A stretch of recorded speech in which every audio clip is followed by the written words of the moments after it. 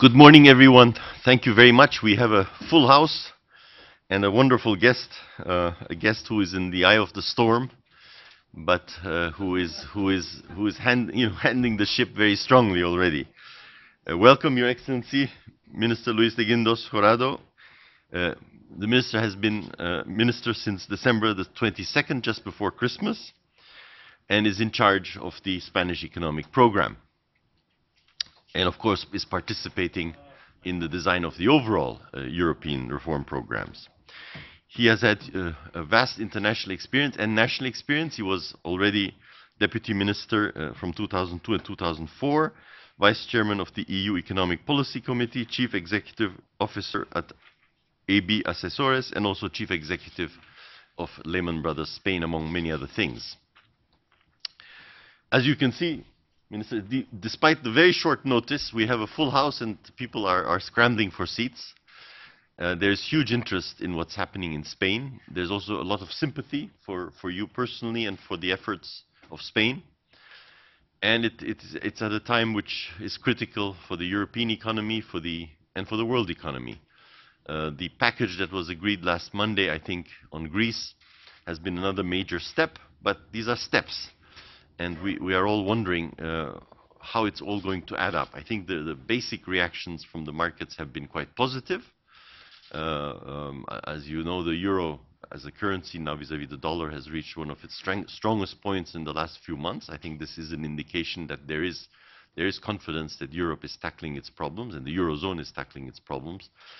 But there still is this big issue of um, short-term management of the crisis, you know, liquidity for the banks, trying to control the immediate uh, dangers, versus the longer-term growth agenda for Europe, because I think most economists agree, most observers agree, that unless uh, growth can start again in a significant way in the southern European countries, um, the control of the debt and, and the financial measures are going to be uh, temporary measures, not the measures that really solve the pro problem.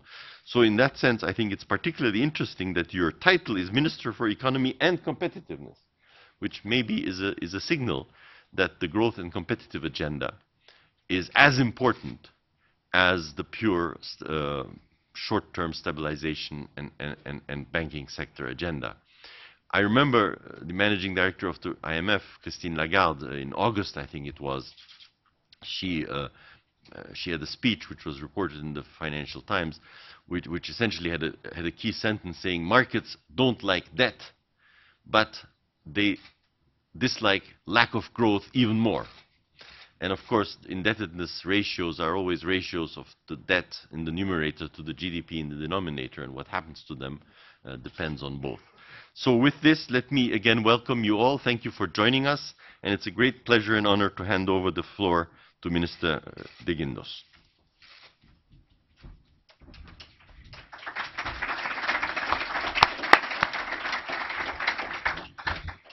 Well, let me start, if I, if I may, thanking Brookings uh, for inviting me to share some views on the Spanish economy and the European, European economy.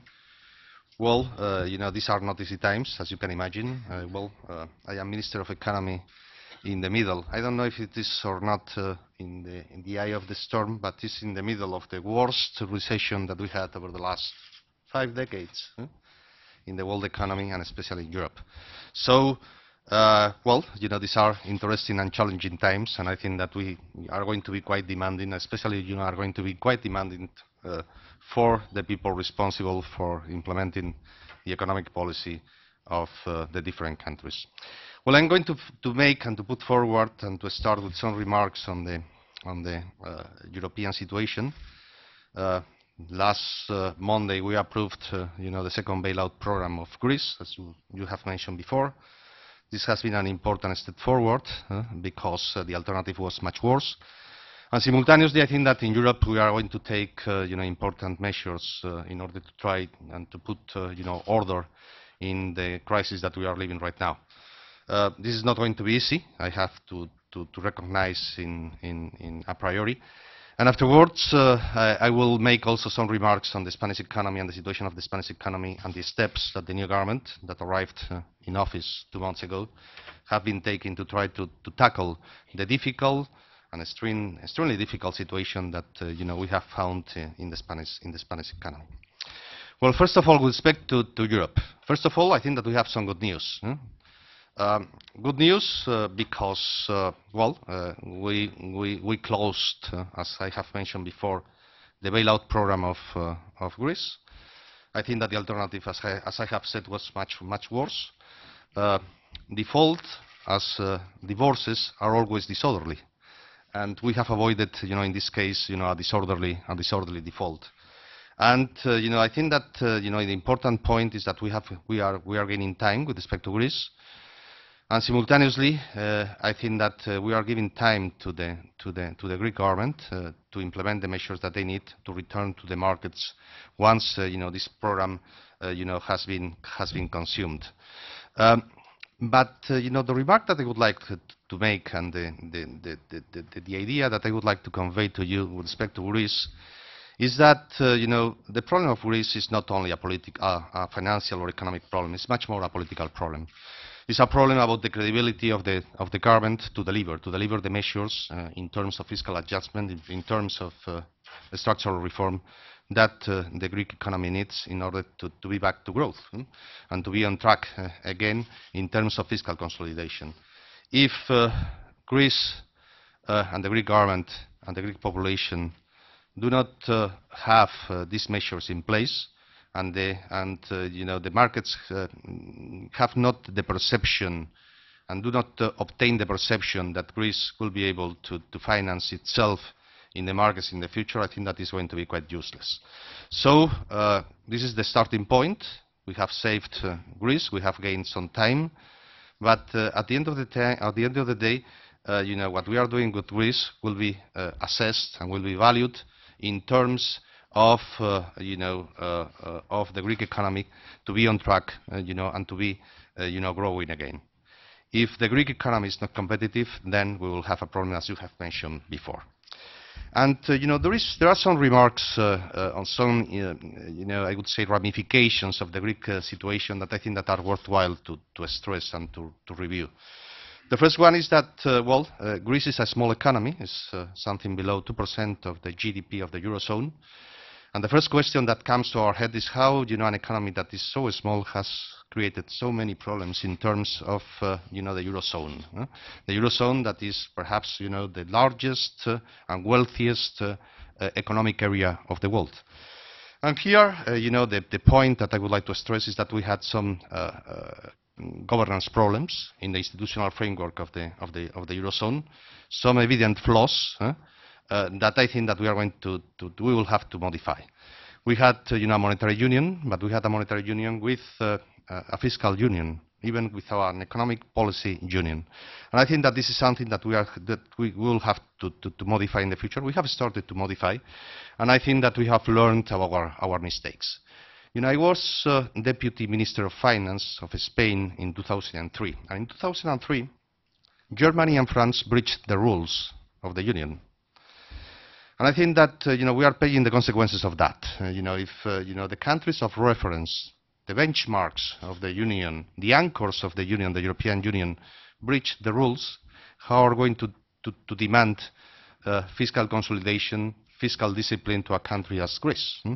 And I think that now we are paying the consequences of uh, you know, this uh, decision that was taken in 2003 because we modify the Stability and Growth Pact and this modification was in favor of the large, uh, of the large countries. And uh, when, when you uh, bias the rules in the middle of the game, then you have to take uh, uh, in consideration and you have to pay the consequences of that. And I think that now we are paying the consequences of that. But this is something that especially you know, the German government has learned in the past. Simultaneously, well, you know, to give you good uh, news about uh, the Eurozone, I think that there are some positive uh, elements that we have to bear in mind.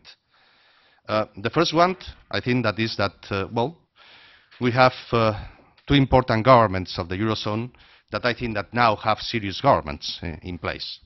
Uh, you know, the situation of Italy and the situation of Spain has been modified, and I think that in terms of political, the political framework, I think that this is, this is important. Italy is the third economy of the Eurozone, and Spain is the fourth economy of the Eurozone. And now they count, they count on, uh, you know, the future policies that we will have to pursue in the future. and, uh, you know, with orthodox governments, with uh, governments uh, willing to deliver, I think that, you know, the balance of power in the Eurozone will be modified and will give rise to different uh, possibilities huh, in the future with respect to the uh, uh, alliances and the policies that uh, can be implemented in the future.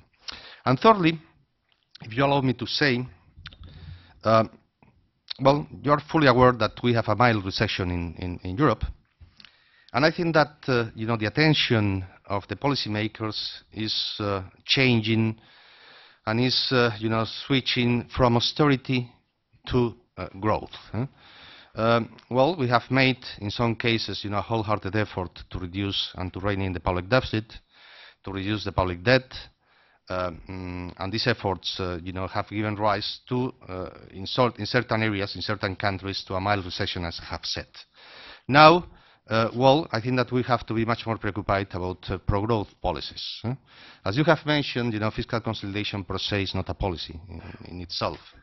Uh, fiscal consolidation uh, makes sense, uh, especially if you are simultaneously applying other kind of policies that give rise to much more potential growth in the medium uh, in the medium in the medium in the medium term.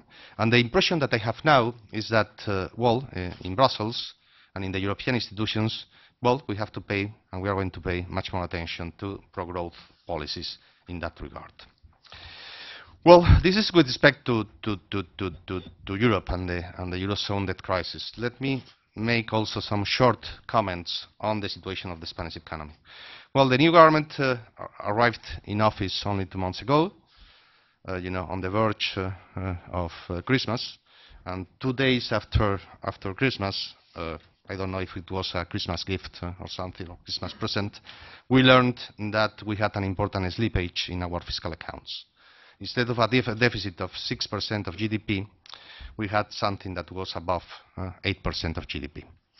Well, the new government immediately, in four or five days, took uh, austerity, an austerity package to reduce, uh, you know, the public deficit by uh, 1.5% of GDP, raising taxes, raising the personal income tax. That is something that was not very popular, especially taking into consideration that the Popular Party is a liberal conservative party that, uh, you know, is totally against uh, raising taxes, but uh, there, there was no alternative. And simultaneously reining in the public, uh, public expenditure by 9 billion euros. Well, uh, you know, this, I think that this was totally necessary in order to give a very clear signal of the commitment of the new Spanish government with fiscal austerity. hmm. You know, we could not, uh, you know, the alternative of, uh, you know, having a deficit uh, above 8% without taking additional measure would have been terrible in terms of uh, the, the, the, the reaction of the markets for the Spanish economy. So I think that it was a very clear signal in that regard, huh? and uh, you know, it was a very conclusive and rapid reaction of the Spanish, of the Spanish government. Immediately and afterwards, uh, you know, the, the Spanish government, you know, um, implemented and approved uh, an organic law to develop the constitutional amendment that was approved by the two large political parties of Spain uh, uh, after, after last summer. And, uh, you know, in that amendment, in that dec- law decree, mm, a lot of controls, much more transparency has been introduced with respect to the fiscal accounts. One of the main problems of Spain, that I suppose that you're aware, is that Spain is a very decentralized uh, economy. You know, the different layers of the administration, when you look at, uh, you know, the different bodies and the different institutions, you notice that uh, regions uh, account for a very important percentage of the total, of the total public deficit. And, uh, you know, the accounts of the regions were qu quite opaque, and they were a main source of deviation and overruns and slippages in the, in the, in the fiscal accounts. So, you know, this uh, new regulation will set uh, very clear rules for, for, for the regions, and especially, you know, it will, will introduce uh, uh, a lot of clarity, a lot of transparency, to allow the central government to react just in case, and in time, and before you know the slippages of uh, the regions uh, uh, mm, suppose uh, an unsurmountable situation for the uh, global accounts and the global uh, position, fiscal position of the Spanish of the Spanish uh, economy. So this was a second measure that I think that was quite important, and I think that uh, you know to control and to rein in by the central government uh, and to have uh, you know transparency and information uh, in time of the accounts of the regions, I think that is going to be, you know, another element that uh, gives, uh, you know, leads to the perception that, uh, you know, the central government is going to be serious with respect to the fiscal deficit. Thirdly, uh, you know, the week after, you know, the approval of this law, uh, the Spanish government adopted a new regulation on the banking industry. Well, uh, banks in Spain uh, are, you know, uh, important institutions, not only in Spain but all over the world. We have one of the most efficient uh, retail banks uh, and lenders all over the world. But, uh, you know, the situation of the Spanish banking industry has been affected by the bursting of the property bubble that we had during the, the, the last decade, and especially because of the credit bubble that we had in the past. So um, immediately the government, with uh, you know, uh, with the warning of the Bank of Spain, our central bank, you know, uh, also found that we had, uh, you know, uh, some deficits in terms of valuation of the real estate assets that the banks had in their balance sheets. Well, we decided to act immediately, and what we did was to increase the provisioning of, uh, you know, the, the real estate assets uh, of the banks uh, in the balance sheet of the banks. So, for instance, to give you an idea, the most toxic, toxic real estate asset in the, in, the, in, the, in the balance sheet of the banks is land. Land was provisioned by 30% with respect to the, to the initial, to the book value, the initial book value. Uh, we decided that, you know, this valuation was uh, incorrect, and that uh, we tried to, to close and to bridge the gap between the book value and the market value. So now, with the new regulation that we approved, for instance, the provisioning and the markdown of, the, of land in the balance sheet of the banks will be 80% instead of 30. So th- to give you an idea about the effort that this is going to suppose for the, for the banks. This will suppose that, uh, you know, banks will have to raise provisions by something above 50 billion. They are going to do it through uh, the P&L of the banks. We are going to limit uh, uh, at the maximum possible, you know, the, the, the, the, uh, use of taxpayer money. And, well, and for the weak or fragile institutions that they are not able to, to, to, carry out to implement this effort, what we are going to do is to force uh, to force them into a consolidation process to try to get rid of these uh, fragile uh, or weak institutions.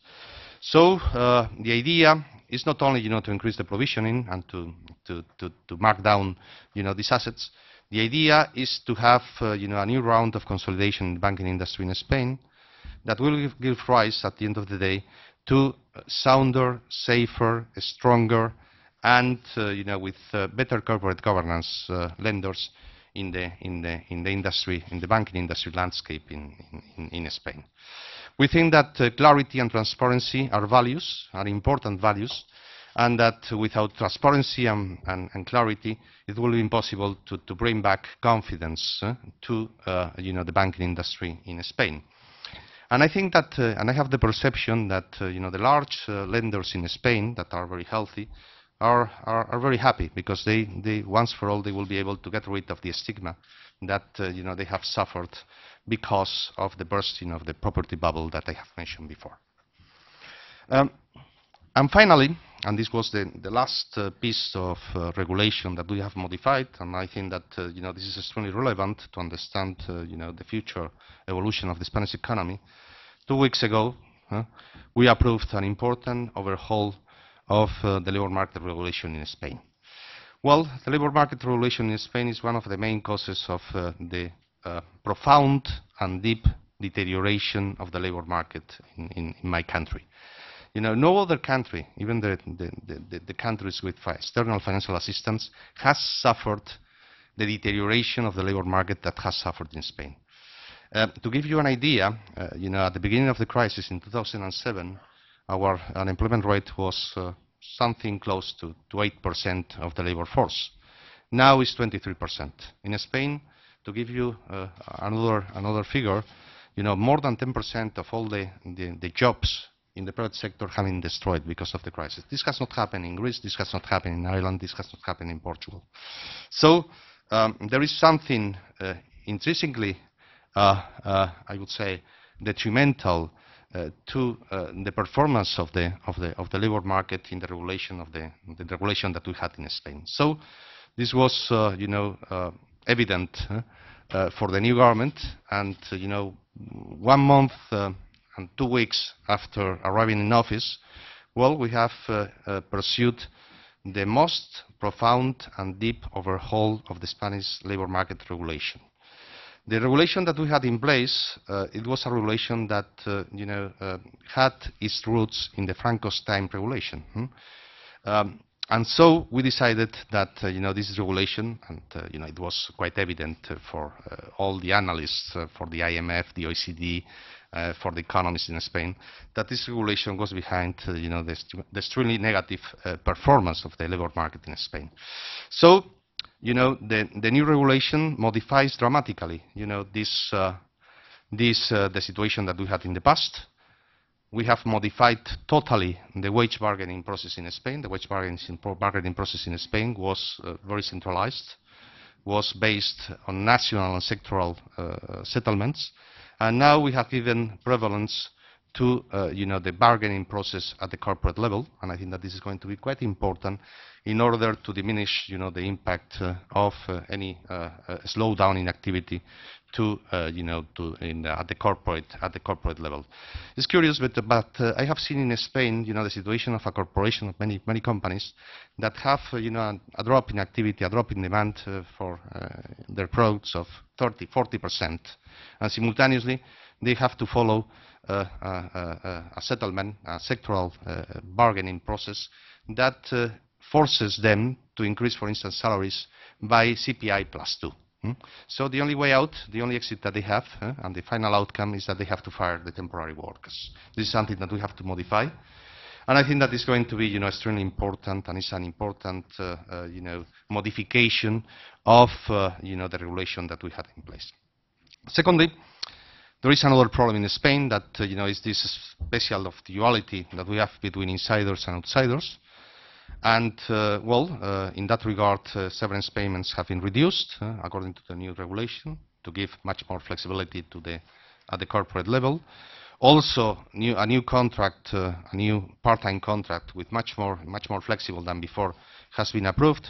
And we think that, uh, you know, all in all, you know, in, in, in any, in any uh, aspect, in any facet of the polyedric uh, regulation of the labor market in Spain, what I can assure you is that the new regulation, uh, you know, supposes a clear improvement with respect to the, to the, to the past. Well, this is, uh, these are the, the, you know, the main steps that, uh, you know, the new government has taken in two months. We know that we are living challenging times. We know that uh, this year is going to be bad. We are going to have negative growth, um, 1.5 more or less, according to the Bank of Spain, in terms of uh, GDP, 1.5 in terms of GDP growth. We know that, uh, well, uh, that uh, uh, the impact on the labor market will continue to be negative, uh, and that we are willing to, to lose jobs this, this year. But what I can as- assure you is that the Spanish government is fully convinced that, well, that we have to modify a lot of things. That our strategy of economic policy is going to be based on fiscal consolidation. This is something that is going to be inevitable. But uh, fiscal consolidation is not uh, the only the only way out. huh? We have to, to complement fiscal consolidation with structural reforms. The structural reforms that uh, you know, are going to be needed to, uh, to foster the growth potential of the Spanish, the Spanish economy in the near, in the near, in the near, in the near future. Times uh, in the short term are not going to be easy. The environment that we are living is not easy, as you are fully, fully aware. But uh, you know, when you review backwards uh, the history of Spain, whenever we had uh, you know a government with uh, uh, you know macroeconomic orthodoxy eh, uh, implemented and with a structural reform agenda, always the Spanish economy at the end of the day is much stronger. Thank you very much.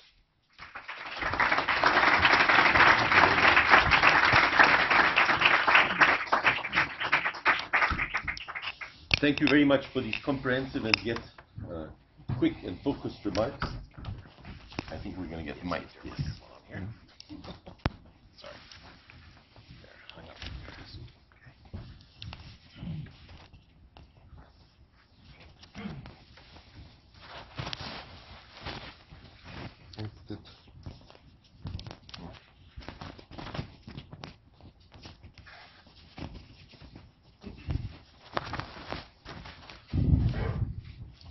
All right, now this is better. So we'll, we, we have about half an hour for discussion with the minister, uh, questions from the floor. I will try probably to group two or three questions uh, to, to gain time that way. And so I'm opening the floor. Uri, please do identify yourself. You get a mic. Yes. th- Thank you, Minister. Um, Thank you, Minister, for those remarks. Uh, The uh, uh, Spanish economy uh, has seen a big deterioration in unit labor costs against uh, Germany. It's running a current account deficit despite the recession. Uh, So my question is, uh, is there a big competitiveness gap for Spain today? And what will replace, how will growth happen? What will replace, for example, the construction sector, etc.? Which sectors do you see are going to pull you out of this? Maybe we'll take one or two others. Yes? Thank you, Minister. Uh, my name is Juan Moreno. I'm a student from George Washington University. And my question is, uh, you said we need a growth policy with a, a budget policy, and uh, but also announced in some of the reforms, for example, five, five, 50 billion uh, provision uh, rising into the banks. So my question is, uh, where are the growth policies? Where, Any other question in the first round? All right. Well, I think that uh, the questions are quite quite similar and go in the in the same direction. Well, first of all, I have to say that it's true that you know the Spanish economy has a competitiveness problem if you look at the current account deficit. But it's also true that uh, the current account deficit has come down from 10% in 2008 to something that is going to be a little bit below uh, 3% this year. So we have closed the gap.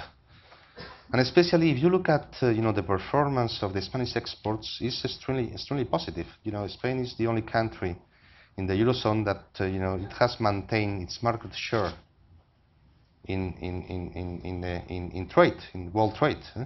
You know we have maintained our our market share close to two percent eh, of the total of the total exports of goods and services. So. Uh, uh, it's true that, uh, well, we had a competitiveness uh, problem, but this problem has been, uh, you know, dramatically reduced over the last, I would say, three, four years. But I, my question is that, uh, or my point, the point that I would like to stress and to highlight is that, uh, well, the improvement in unit labor costs in Spain has taken place because of a drop in productivity. Did, but excuse, excuse me, because an increase in productivity. But this increase in productivity is the consequence of uh, a dramatic fall of employment. So we didn't have wage moderation in Spain. You can see that, uh, for instance, last year, you know, wages in Spain increased at a rate of 2 point something percent, and simultaneously we, we, we, destroyed jobs uh, at a rate of 3%. So uh, the improvement in unit labor cost, that is the typical gauge uh, of competitiveness in Spain, has taken place through uh, job destruction. This is something that we have to modify. And this links to the, to the, to the overhauling of the wage bargaining process. Um, uh, in Spain, we need wage moderation as uh, instrument, as a lever for uh, internal devaluation, and we have to stop the process of uh, the destruction of destruction of jobs. hmm? So uh, I would say that uh, you know the wage bargaining process is going to be vital. Afterwards, uh, well, you, both of you, you have asked about uh, you know this uh, dilemma between austerity and growth policies. And I would like to stress also you know one point that I think that is important, and Spain is a very good example about uh, growth policies. You know, in 2007, the fiscal deficit, well, the, the, the fiscal position of Spain was a surplus of 2%. And in 2009, we had a deficit that it was something above 11%. So Spain is the country that put in place and pursue the largest fiscal stimulus, I would say that all over the world, for sure all over the OECD. What was the consequence of that? The consequence of that was that, uh, well, the unemployment rate jumped from 8% to 20. So sometimes, uh, and I think that is quite, uh, this is quite incorrect, we identify uh, pro-growth policies with fiscal stimuli, and I think that that's wrong. And I think that Spain is a good example in that, uh, in that regard. So I think that uh, the real pro-growth policies are, have to come from the supply side of the economy.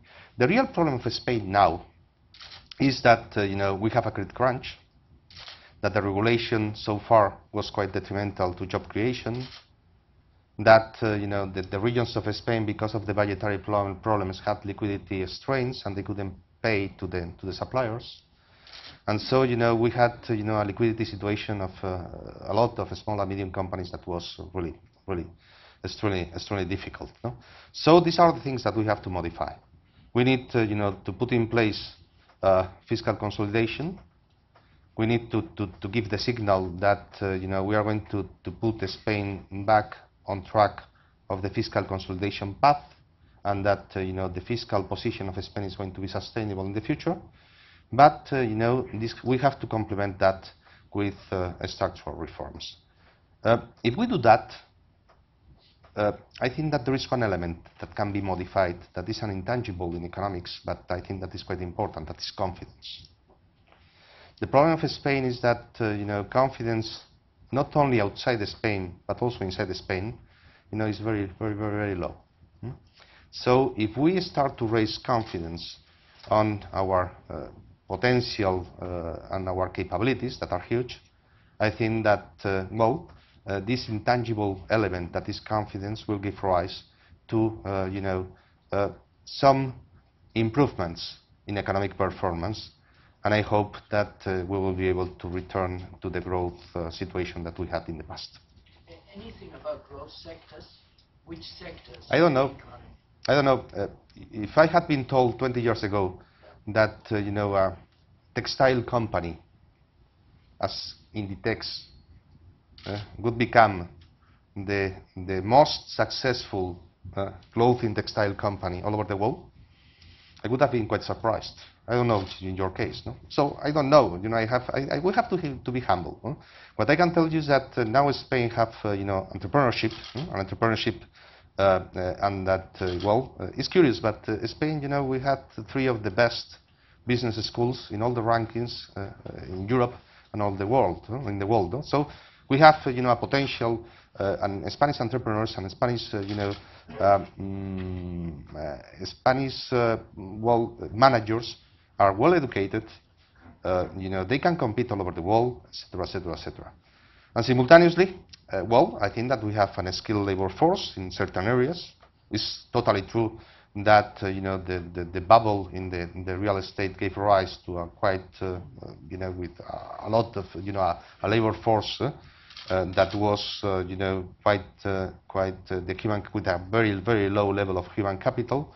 But when you look at other sectors of Spain, one, uh, they are able to compete, as I have said before, and they are able to to to to to to to to, put to to to push uh, you know the Spanish economies to compete uh, you know in, in, in, many in many in many markets.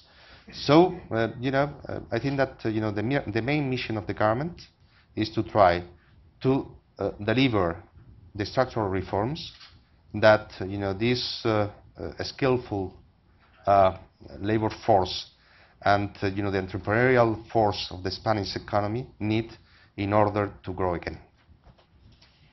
All right, we'll have some more questions. Um, I see uh, Teresa there first, and then gentleman in the back. It's very good to hear that you are optimistic. Uh, you, yeah, you have to use the mic about the prospects for uh, competitiveness for uh, the, the, and, and uh, Teresa, we, we, still can't hear you. You have yes. to speak a little louder. Okay. I said it's very good to hear that you are optimistic about uh, the prospects for a recovery of growth uh, of Spain in the uh, not so far future. I mean, personally, I think that in the short run, you're going to have a hard time because, you know, re reduction in wages, much as is needed over the medium term, will have a short-term impact on, uh, on, on, demand. But I wanted to ask you mainly about uh, uh, the role of the fiscal consolidation in the, in the regions. How are you going to ensure, I mean, or what is the government doing to ensure that uh, the decentralization uh, does not, as it has in the past, led to uh, lack of fiscal discipline at the subnational level. So thank you very much. One question yet in the back there? Yes? Right. Gentleman in the, in the middle. Uh, Nicolas Veron at the Peterson Institute uh, for International Economics here and at Bruegel in uh, Brussels.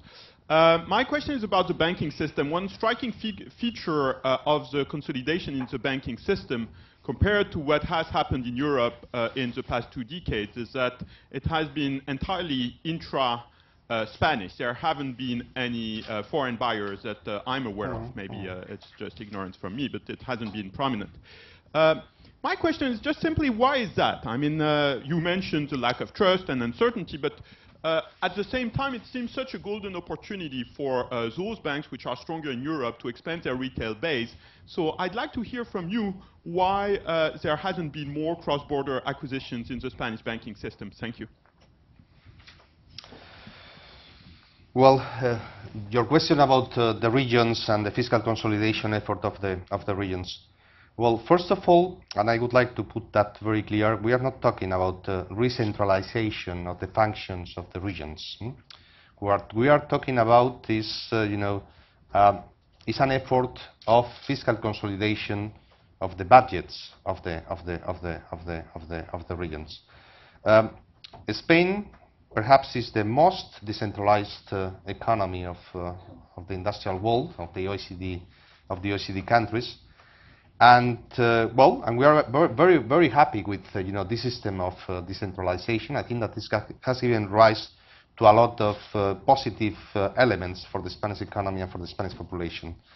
But it's totally true simultaneously in that uh, you know over the last two, three years, the effort of fiscal consolidation of the regions has been much more, much more, much smaller, um, mm, much more reduced than in the case of the central government.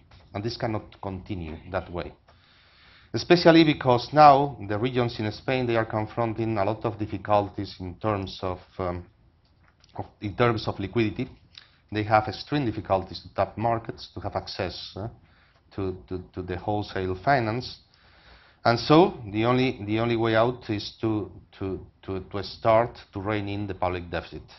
You know, the main source of the slippage in the public accounts that we had last year in Spain is due uh, uh, to the to the to the to, to the overrun of uh, the public deficit of the of the of the of the of the Spanish regions.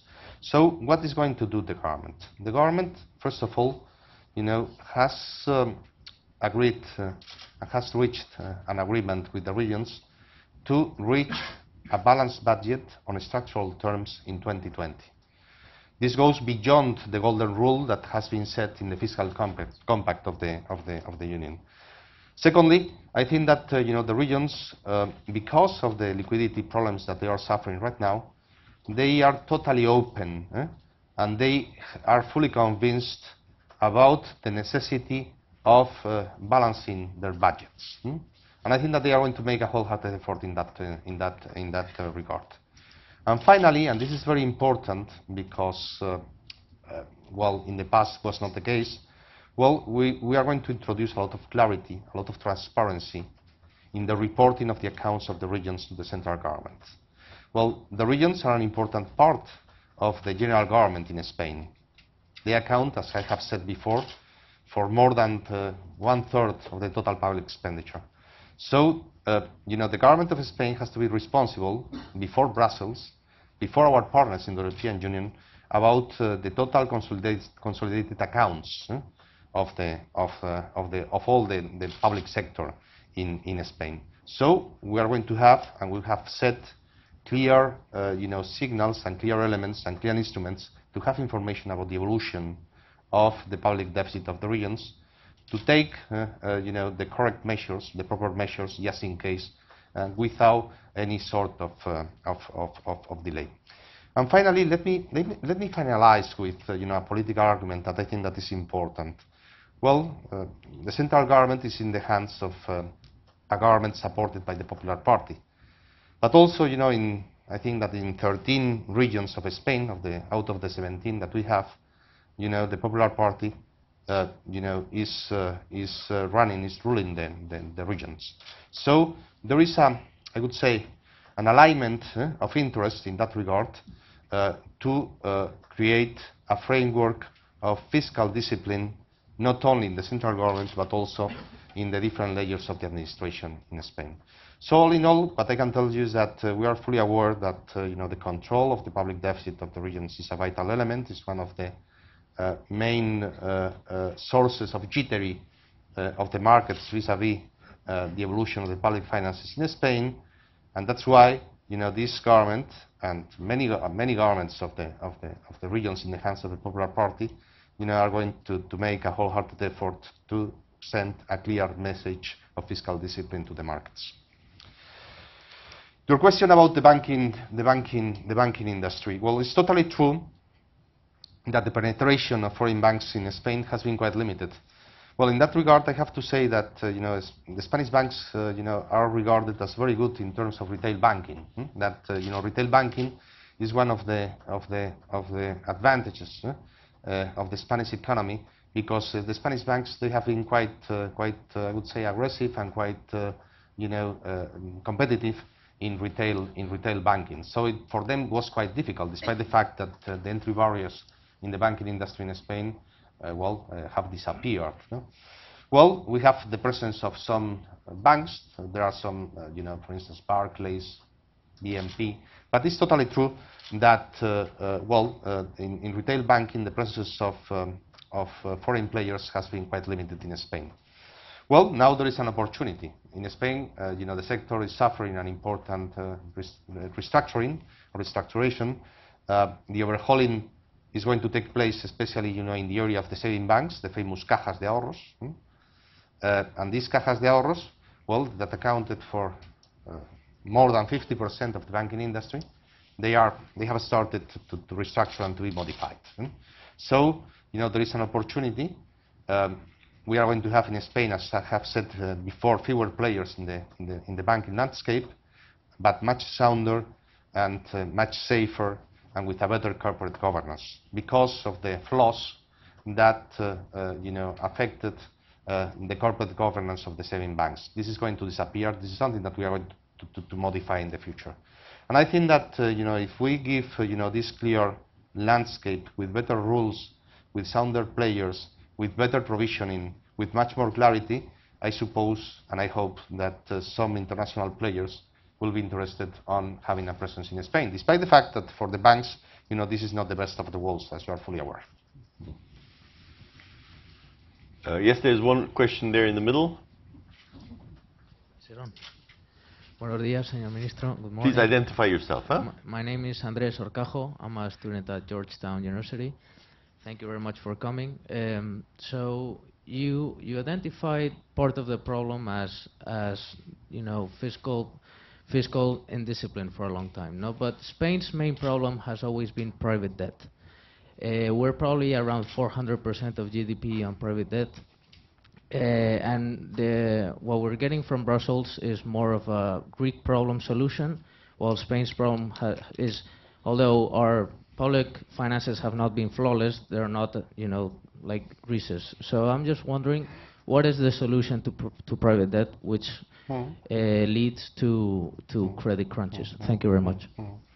Any other question? Yes?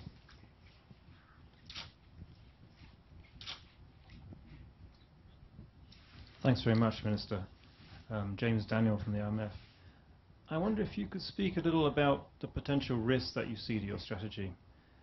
Where do you see the risk coming from? Is it coming from the economy?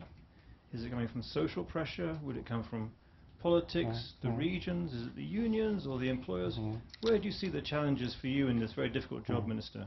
And if I may also ask, on the external side, where do you see the challenges there?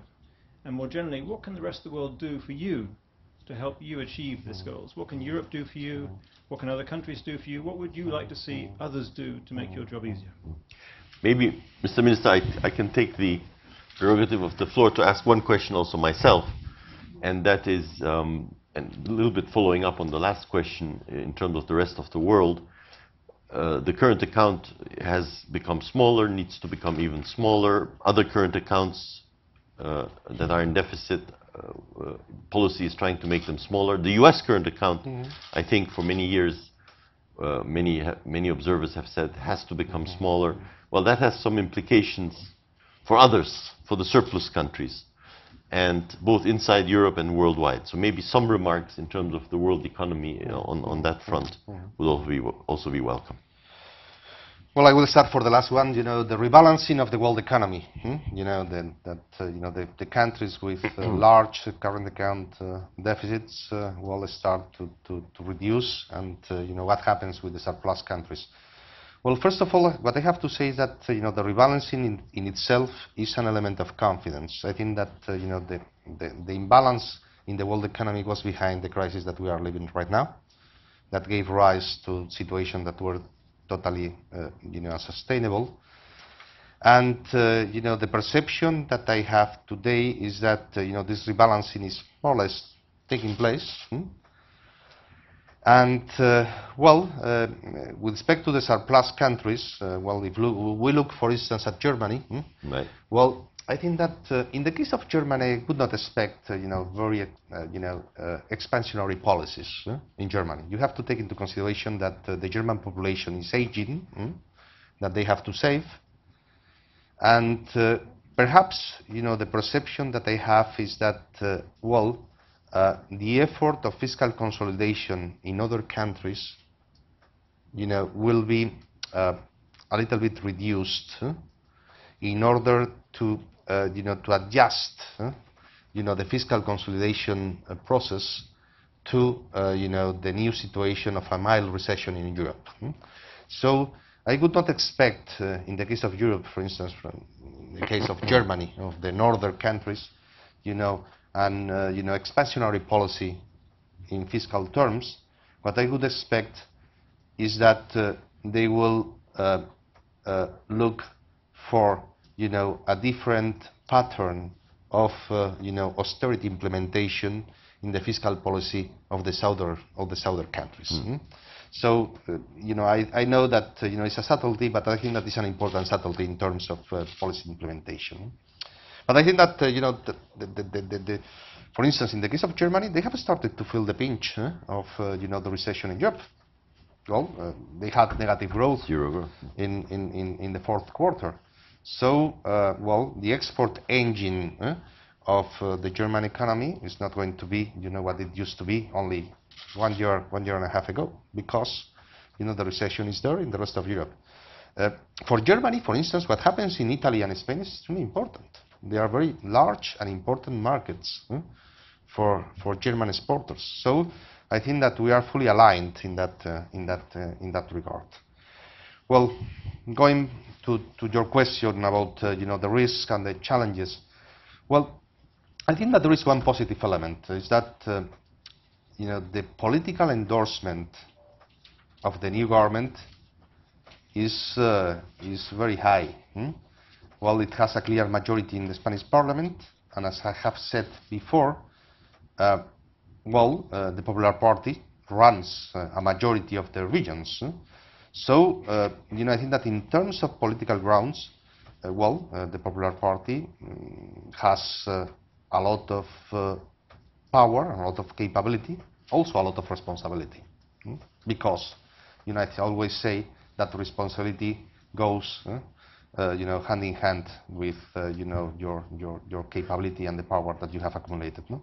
So, uh, on political grounds, I think that this is going to be a very important uh, element, and uh, you know, it's a very clear mandate that the Spanish population has given to the Popular Party mm, to implement the reforms. And I think that the measures that we have taken over the first two months are a clear sign mm, of that uh, commitment and the compromise of the Popular Party with, uh, you know, these reforms and this agenda of reforms that uh, I think that has been endorsed by the Spanish, by the Spanish, by the Spanish population. Uh, the problem, well, the, the, the, there are potential challenges everywhere. I do not see, you know, the situation in Spain was so so bad. The deterioration of the labor markets was so profound that, uh, well, uh, that uh, you know, I think that the Spanish population is, uh, uh, despite the fact that some of the measures that we have taken are not popular, I think that the Spanish population has been relieved because they have started to feel that there is a, govern a government that takes decisions. And they wanted to be led. And you can agree or disagree with the measures. What you cannot question is that, uh, you know, in two months, the Spanish government has taken bold actions that uh, were not taken before. And I think that uh, you know this is element element of relief in terms of uh, you know the Spanish the, the, Spanish the Spanish population because they want to be run by a government that is fully committed with this kind of reforms because the alternative is something that we knew and that we have lived over the last four years. Hmm? So um, on political grounds, I would say that uh, well uh, you know these are not easy measures. And To raise the personal income tax for the Popular Party, I can assure you was not an easy decision. But, well, it's something that we have to do. Hmm? And, uh, you know, I think that simultaneously, I think that the Spanish population has realized and fully acknowledges that, uh, you know, the government, they can be uh, more or less in agreement with these measures, but that the government, at least, is taking, you know, measures. And, uh, you know, I, I, would say that there is a sign of relief uh, for, for, for that. That's the perception that I have. Hmm? despite the fact that you can agree or disagree. This is a different, a different issue. Hmm? From overseas, hmm? well, I think that uh, you know the European context is going to be vital for us. I think that, well, the, the second bailout program of Greece um, is important in order, for instance, to stem the contagion to Portugal, hmm, that was there. Because if you look at uh, the evolution of yield spreads over the last uh, weeks. Well, in the case of Spain, in the case of Italy, in the case of Ireland, you know, we have seen a tightening of the spreads. But in the case of Portugal, we, we have seen a, a widening. But I think that is totally unfair. I think that, uh, you know, there is a clear difference between the Portuguese government and the Greek government. In the case of Portugal, uh, there is a government that is willing to deliver and to put in place you know, the, the, the, the reforms. Um, and I think that at the end of the day, markets will acknowledge you know, this, uh, this, uh, this effort by the Portuguese, the Portuguese authorities. No?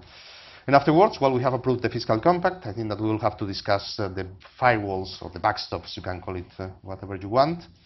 Um, I think that the ECB is doing its part with an important injection of liquidity that, uh, well, has created you know, uh, much more comfort for the European banks that had uh, funding difficulties, as you're fully aware, only four five months ago. And I think that, uh, you know, the context in that regard has been modified. And simultaneously, you know, the political, the political element. Now, Spain and Italy, you have new governments uh, that uh, are regarded as much more serious and orthodox, uh, you know, executives. And I think that, you know, something that, well, are steps in the correct uh, direction. And despite the fact that uh, the European Union is much better, you know, acting preemptively than fixing the problems and the crisis, uh, I think that, uh, well, uh, we are taking steps in the, in the correct direction. And finally, with respect to the, to the, to the leverage of the, of the private sector, you are totally right. The problem of Spain is not, uh, is not public debt. The public debt ratio is quite, quite low. It's below 70. But uh, if you look at the private sector households, both households and corporations, uh, mm, the leverage is quite high. But I would recommend you to go a little bit into the details. You know, the leverage of the households in Spain, of the families, is, well, is below the, well, it's, it's more or less in the average of, uh, of Europe. And the problem, the problem is the level of debt, the level of leverage of the corporations. But if you go into the details, you will see that uh, you know the, the, the, that uh, you know the leverage is especially acute in the case of the real estate companies. Hmm? So the rest of the corporations in Spain are not extremely extremely leveraged. Huh? The problem is, has been concentrated on uh, you know developers huh? and construction companies. You know I have uh, you know the problem of Spain is that uh, well uh, I think that when we, we, we left the government in 2004 uh, you know, lending to developers was something above, a little bit above 70 billion euros. In 2008, uh, before the bursting of the bubble in Spain, you know, the, the lending to, to developers, to real estate companies, to, to construction companies, was 420. So, to give you an idea about the evolution of the credit, and that uh, you know the real problem of the credit bubble in Spain and the property bubble in Spain was the property bubble. hmm? That uh, well, the Spanish banks increased dramatically their exposure to uh, to the construction and to the real estate sector. This is the sector that has to to, to, to adjust, and I think that you know through the process of adjusting of prices of the assets of the real estate assets that has been is going to be fostered through the accelerated provisioning that uh, the new government has demanded to the to the to the banks, plus uh, you know uh, you know the restructuring of the construction sector. I think that you know the leverage process you know will be accelerated, and uh, this is something that is going to be needed. But you know the bulk of the problem of the leverage of the excessive leverage of the Spanish excessive level of debt of the Spanish uh, private sector, you know, is fully concentrated on real estate and construction companies. Thank you very much, Minister de Guindos. I know you have a very packed schedule and you're heading out tomorrow morning or tonight. No, no, uh, just now in one hour. I'm just heading now, to, to, to So, Mexico. I thank you for having visited us. As you see, we've had a full house. I think we've had good, good que- questions, good discussions, an overview of uh, the fiscal side, the private sector side, uh, the current account, and the global issues. We wish you luck. Yes, because we're going to need it. and uh, uh, I think every country, you know, there's similarities, but every country is a little bit different in, in the particular way that, uh, that the crisis has erupted and the way it is, it is handling it. But I do, I do believe Spain is a country with tremendous potential. And uh, I, I'm pretty confident. Now, it's always difficult for an economist to make predictions, but if you come and visit us next year, things will have improved. I will be very pleased to be, All right. to be Thank back you. here.